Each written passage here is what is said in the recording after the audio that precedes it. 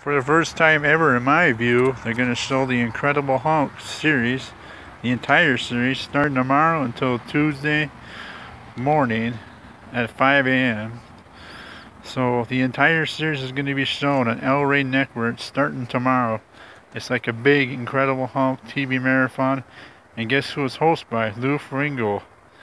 That's right, the guy who played Incredible Hulk is going to be the host of the Incredible Hulk Marathon big marathon in my view. So definitely will be watching that El Rey tomorrow. I can't wait. I'm actually excited. I know it's reruns, but it'll be great to see Incredible Hulk again. Well, that's all I got to say. Bye for now.